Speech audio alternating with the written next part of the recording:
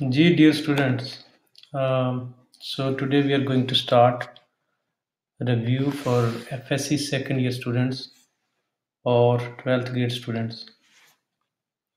So the chapter name is homeostasis. Homeostasis basically balance in the body. Um, just look at the picture.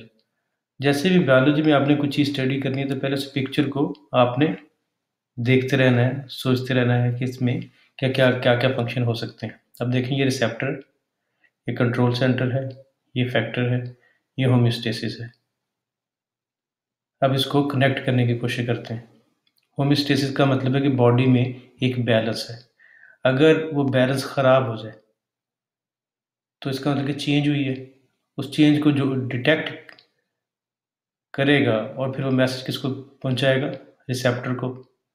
और receptor जो है वो अपनी input किसको भेजेंगे? कंट्रोल सेंटर में। कंट्रोल सेंटर से फिर मैसेज जो जाता है, उसको कहते हैं efferent efferent path पे, जो दूर जाता है। वो जाएगा इफेक्टर तक। और इफेक्टर से फिर वो जो चेंज हुई है, उसको करेक्ट उसकी करेक्शन हो जाएगी। ऐसे ही है जैसे कि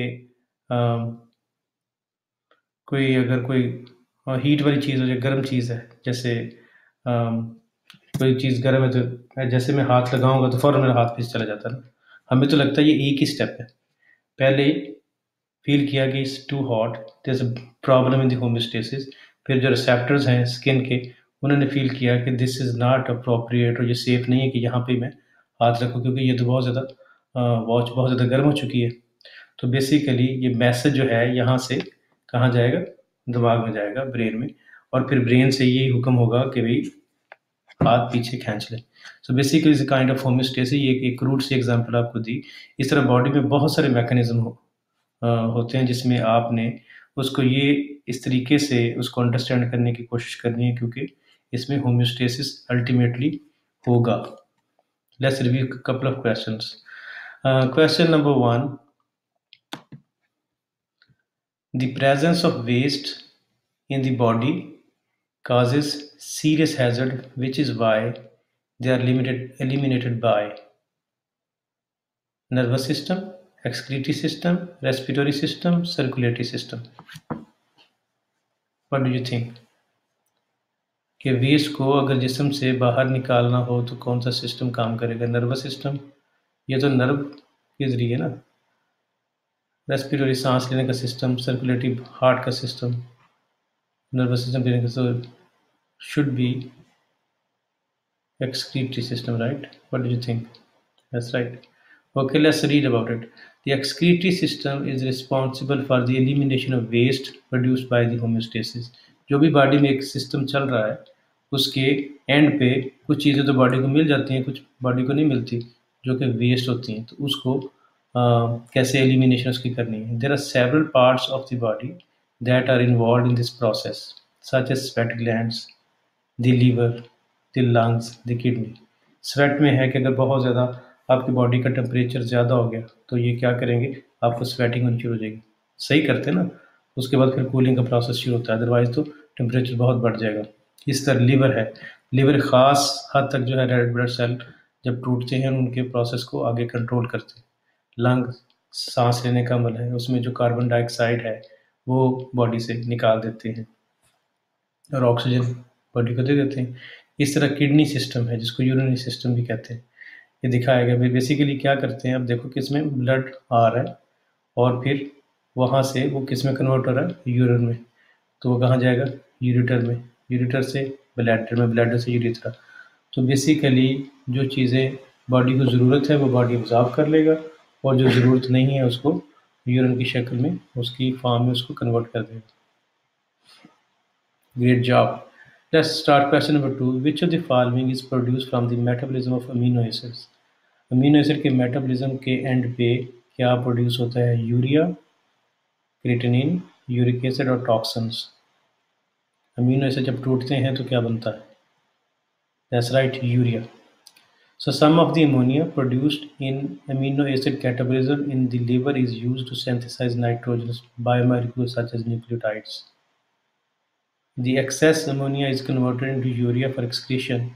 Only the liver and kidneys can convert ammonia into urea. There are like so much information just try to understand जैसे आप उसके चिकन खाया तो वो क्या है प्रोटीन प्रोटीन टूटेगी किस में अमीनो एसिड में तो वो पोर्टल वेन के ज़रिए कहाँ जाएगी? लिवर में चली जाएगी। तो वहाँ पे अमीनो एसिड के अब देखो डिफरेंट पैथवेज है। एक तो ये हो सकता है कि अमीनो एसिड यहाँ से मेटाबलाइज होकर पायरुविक एसिड में बन जाए या पायरुवेट में चला जाए, फिर फैट की शक्ल में डेपोजिशन हो जाए। दूसरी सिचुएशन ये हो सकती है कि अमीनो एसिड वहाँ पे प्रोटीन सिंथेसिस करना शुरू कर दे, क्योंकि ये प्रोटीन से ही बने थे। जो नए नए टिश्यू बनने हैं सेल बनने हैं उसमें they can play important role और तीसरी ऑप्शन ये हो सकती है कि अमीनो एसिड किसमें कन्वर्ट हो जाए? यूरिया में। क्योंकि यूरिया बॉडी के लिए तो इतना फ़ायदेमंद नहीं है तो उसको एक्सक्रीट किया जाएगा। एक तो ये है कि मेटाबॉलिज्म अमोनिया के अमीनो एसिड के या प्रोटीन के मेटाबॉलिज्म के एंड पे क्या बन सकता है? यूरिया। और इसको आ, कौन सा ऑर्गन कंट्रोल करता है? Liver and one more kidney awesome good job question number three which part of the kidney collects blood which part of the kidney Collects blood renal arteries renal veins renal pelvis और renal column collect यानी से यानी कि kidney से वापस आता है That's right. Renal veins. Renal veins are veins that drain the kidney. They connect the kidney to the inferior vena cava. They carry the blood filter or oxygenated blood by the kidney. Okay so here you go. जैसे ये kidney का transaction दिखाया गया है, उसको ऐसे करके काट के दिखाया गया जब आप डॉक्टरी में जाएँगे तो आप इनके एनाटोमिकल एनाटोमिकल जो है वो पार्ट्स को स्टडी करेंगे। अब रीनल आर्टरी है, ये बेसिकली आपको पता था लेट्स से, जैसे ज्यूम यहाँ पे हार्ट है हार्ट से एओटा निकली थी, याद है? तो वो वहाँ से की ब्रांचेज दर ब्रांचेज जब होती हैं तो वो रीनल आर्टरी भी एक ब्रांच है। तो वो ब्लड किसको सप्लाई करेगी? किडनी को। और यहाँ से जब ये सारा ब्लड घूमता फिरेगा और फिर वापस आने की कोशिश करेगा और ड्रेन होने की कोशिश करेगा तो किसमें आएगा? रीनल वेन में। रीनल वेन से ultimately inferior vena cava inferior vena cava से कहाँ गया था? राइट एटीएम में। राइट एटीएम से राइट वेंटिकल में। राइट वेंटिकल से पल्मोनरी आर्टरी के ज़रिए लंग्स में। लंग्स से पल्मोनरी वेन के ज़रिए लेफ़्ट एटीएम में। लेफ़्ट एटीएम से लेफ़्ट हार्ट में।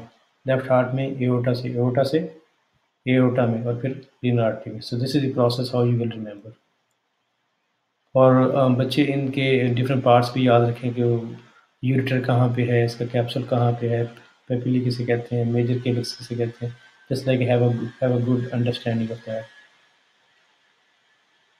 question number four which of the following causes urinary obstruction and is generally complicated by infection failure pancreatitis kidney stones chronic kidney disease इनमें से एक ऐसी कौन सी कंडीशन है जिसकी वजह से एक तो यूरिन रुक जाता है और उसके बाद उसकी इन्फेक्शन हो जाती है? What do you think that's right kidney stone kidney stone the small heart stone that form in the kidneys and are often painful when passed they are hard deposit of minerals and acids all that stick together in concentrated urine एक तो ये है कि अगर पानी कम पिए तो urine आपको कैसा आएगा? एक तो उसका कलर भी डार्क हो जाता है, वो कंसनट्रेटेड यूरिन है। और इस सिचुएशन में ये होता है कि स्टोन बनने के चांसेस ज़्यादा हैं। और जैसे ये दिखाया गया किडनी यहाँ से बना और ये किडनी इतना बड़ा है और ये यूटर में जाने की कोशिश करेगा तो सीवियर पेन होगा। तो नॉर्मली ये स्टोन वहाँ पे अब्स्ट्रक्शन करते हैं जहाँ पे किडनी का कुछ पार्ट नैरो होना शुरू हो जाता है। जैसे यहाँ पे है, इसी तरह जो है यूरिटर है, इस तरह जहाँ इसके अंदर एंटर होने की कोशिश करेगा तब। और जब ये वहाँ पे रहेंगे it keep just like causing a trauma और इंजरी और वहाँ से इन्फेक्शन वहाँ ज़ाहिर बात बैक्टीरिया तो फिर रहे होते हैं इन्फेक्शन के चांसेस बहुत बढ़ जाते हैं। So question number five in which of the following cases does the blood flow to skin increase इनमें से सिचुएशन में ब्लड फ्लो जो स्किन को बढ़ जाता है। Temperature in response to low temperature temperature at thirty seven Celsius temperature at ninety eight point six ये तो आपके बॉडी का टेम्परेचर है ना, ये भी वही है। अब अब ऑप्शन रहेगी ए या बी सर्दी में या गर्मी में? जो स्किन का ब्लड फ्लो बढ़ जाएगा। What do you think awesome okay so in cases of increase in temperature जब मौसम बहुत गर्म हो जाता है अब द सेट पर जिस लाइक आजकल है, जुलाई, अगस्त में certain warm temperature sensitive chemo thermoreceptors in skin hypothalamus and other parts of the nervous system send the signal to the system. तो बेसिकली जैसे ही टेम्परेचर बहुत बढ़ जाएगा तो वहाँ पे क्या होगा? वहाँ से मैसेज आएगा। तो वहाँ पे थर्मो रिसेप्टर होते हैं स्किन के अंदर थर्मो थर्मो नहीं हीट हीट को डिटेक्ट करने वाले रिसेप्टर होते हैं। और फिर वो मैसेज भेजते हैं थर्म हाइपोथर्मस को और ब्रेन के डिफरेंट पार्ट्स को। Then then the system increases the blood flow to the skin and also cause sweat gland activation. तो वो क्या करेंगे? बेसिकली वो उस स्किन का ब्लड फ्लो बढ़ जाएगा और वहाँ से बेसिकली जो ब्लड वेसल वो डायलेट हो जाएँगे और वहाँ से स्वेटिंग होगी, जिसके लिए टेम्परेचर आपका कूल डाउन हो जाएगा। In response to low temperature less blood is to the skin.